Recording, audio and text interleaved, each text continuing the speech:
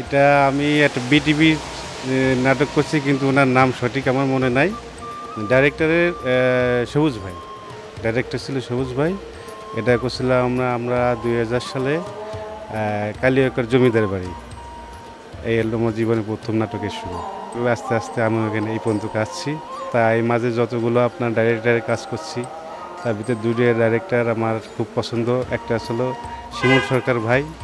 আর এখন বর্তমান যে ডাইরেক্টরের কাজ করতেছি আসলে মুসাফির রনি ভাই। এই দুটি ডাইরেক্টর কাজ সবাই ভালো লাগে। তার ভিতরে এই দুইজন আমার খুব পছন্দ। প্যারা লাগে, কিন্তু কিন্তু এটা তো করতে হবে। ওঠাটা তো আমাদের কর্তব্য। আমরা সকালবেলা ঘুম থেকে যে উঠি, ওঠা থেকে খুবই কষ্ট। কিন্তু কষ্ট হলে তো কিছু করার নেই। কষ্টকে মেনে নিয়ে কাজ করতে হবে। আমাদের আর্টিস্টের কাজ না। আর্টিস্টের কাজ করে অন্য একজন আমাদের হলো লাইট আনা আর ক্যামেরা আনা। তা আমি সকালবেলা শুরু করছি লাইট তারপরে ক্যামেরা এইভাবে নিয়ে আমরা হাউজে আসি। আবার আর হাউজে কাজ শেষ হলে আবার আর ক্যামেরা নামাই দিয়ে লাইট নামাই দিয়ে আমা- আমাদের বাসায় আমরা চলে যাই হ্যাঁ আমার যে বর্তমান যে সিটে কাজ করতেছি মুসাফির রনি ভাই, ইনি খুব ভালো মানুষ। আর আগে যাদের কাজ করতাম, শিমুল সরকার ভাই, উনিও খুব ভালো মানুষ। মাঝখানে যাদের কাজ করছে তারা খুব ভালো, কিন্তু এই দুজনের পেমেন্টটা খুব নগদ পাতাম আমরা।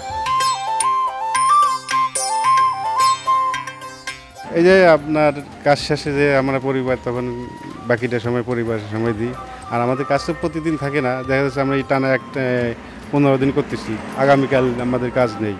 তখন ওইটা পরিবারের সঙ্গে থাকব, পরিবারের সাথে সময় দেবো এইটা ওই ঘুমিয়ে থাকা অবস্থা দেখতে পারি। কিন্তু মনে করেন তাদের সাথে যে কথা বলব, এদের কোনো অপশন থাকে না। যখন আমি অবস- অবসর থাকি, তখন মনে করেন তাদের নিয়ে সময় দিই। কিন্তু আপনার কর্মের মাঝে এদেরকে সময় দেওয়া সম্ভব হয় না। ওই বাসায় যাই, কালকে গেছি রাত্রে দুইটার সময়। গতকালকে রাত দুইটার সময় গেছি, যাই দেখি সবাই ঘুমায় আছে। না না, এরকম হয় না। কারণ আমাদের কাম কর্মই এইটা। যাই হোক কর্ম হলো সবচেয়ে বড় ধর্ম। কর্ম যখন যে করতেছি তারও সেটা মেনে নিতে হবে, আমাদেরও মেনে নিতে হবে। আমার ঘোরার খুব শখ। ঘোরার শখ অনেক দেখে আমি মনে করেন এই ট্রান্সপোর্ট লাইনে আসছি। আর এই এই লাইনে থাকলে আমি মনে করেন সারা দেশে ঘুরতে পারি। এই কারণে আমি এই এই কর্ম করি।